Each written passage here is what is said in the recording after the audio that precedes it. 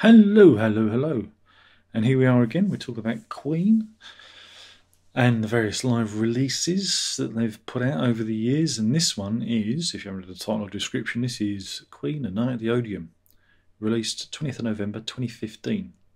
But the gig was recorded 24th of December 1975. Um, again, if you're in the know, the 24th of December gig from 1975 is, is um, the last date on Queen's tour to support the Night of the Opera in, in the UK. Um, and it's famous for being um, documented, recorded by the BBC for Old Grey Whistle Test.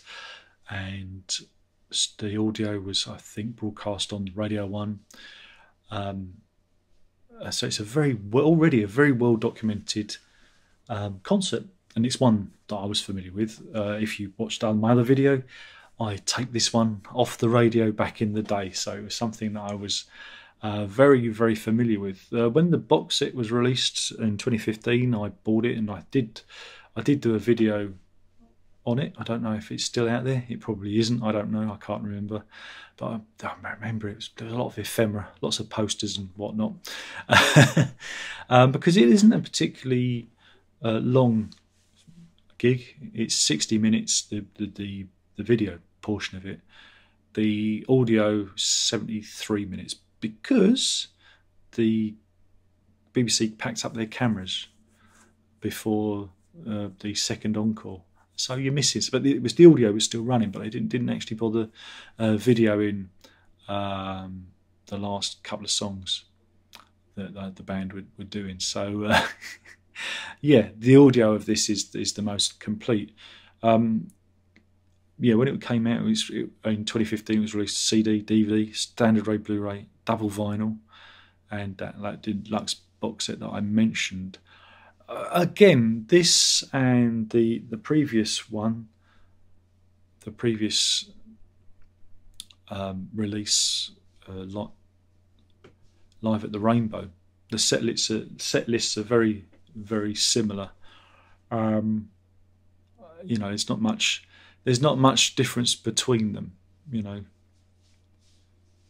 You know, so it's a, it's a bit. You know, this is the more iconic one because it was their victory performance. You know, this is the one that you know everybody knows. I'm not poo-pooing it. I'm just saying this. You know, this is the this is the better known.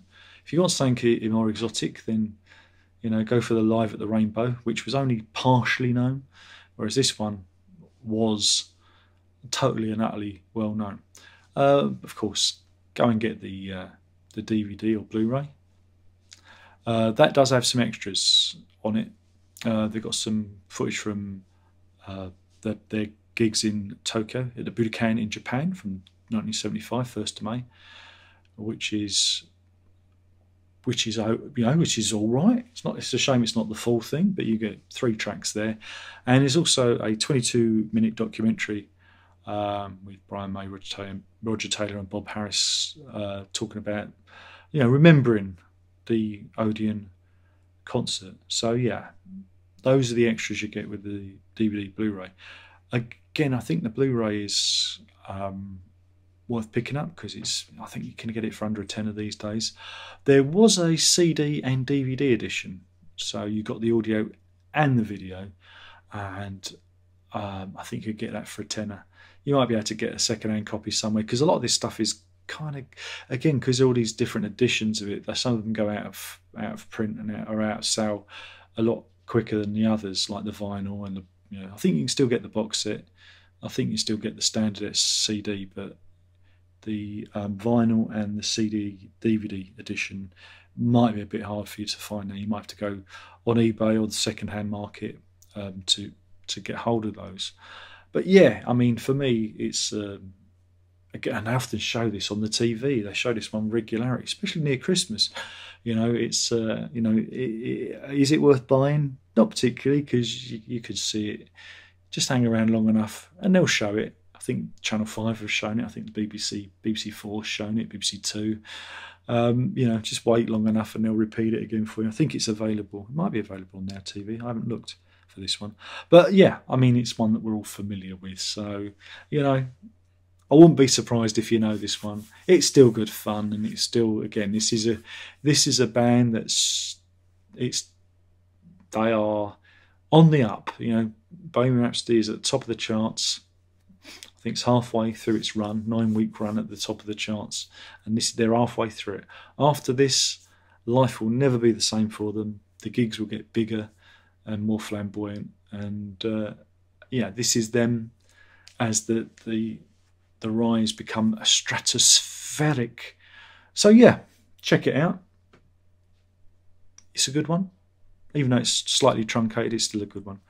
Um, so yeah, thanks for watching. I have been talking about uh, Queen's A Night at the Odeon, probably one of the most documented and represented of Queen's live albums material. I mean, again, Radio One played it. It's been on the TV.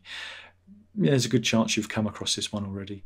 I, like I said, my tape copy is. I have to get a tape player so I can play my tape edition uh, from all those years ago. I mean, I recorded it in the 80s.